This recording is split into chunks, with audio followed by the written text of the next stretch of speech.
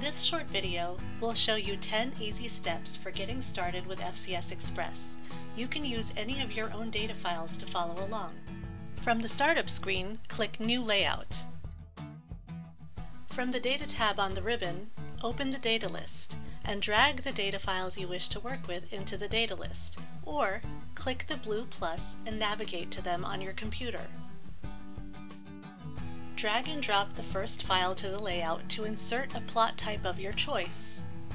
Click on the plot axes to change the axis parameters. Now it's time to create a gate on your plot. From the Gating tab, choose the gate type that you want to use, such as polygon.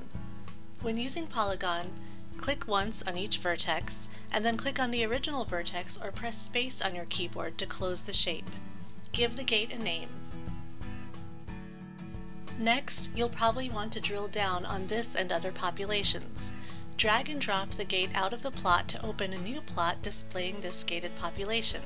Then change the new plot's axes to new parameters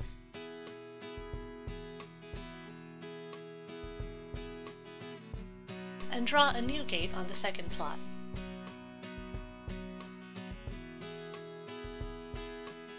Now that you have a few gates, you'll want to view an interactive legend of your gates. From the Insert tab, choose Gate View.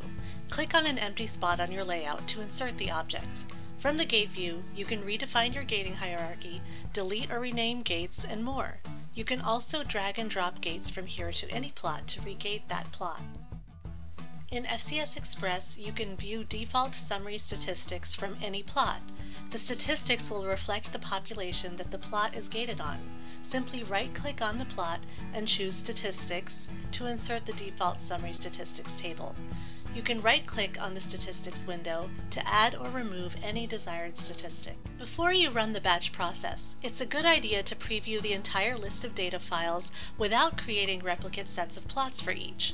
Simply use the Next Previous buttons on the Data tab to iterate your samples through your complement of plots. From the Batch tab, Click Batch Actions to open the available list of actions. First, we'll set up an Excel batch action. Choose Export to Excel column mode.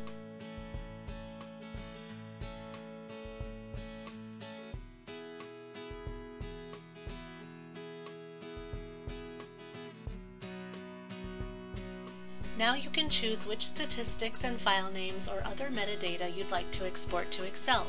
You can drag and drop items from the default statistics window,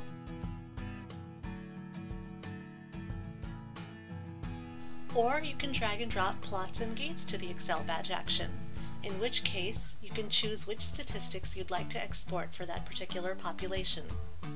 Using a similar procedure, we'll now set up a batch process action to PowerPoint. From the Batch tab, Batch Actions, choose Save to PowerPoint.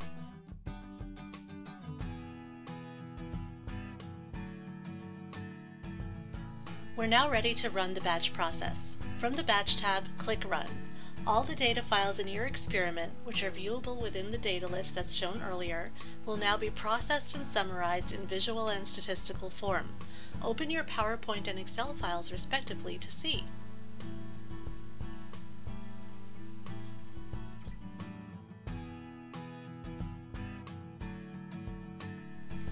For questions, please visit our website or email us at support at denovosoftware.com.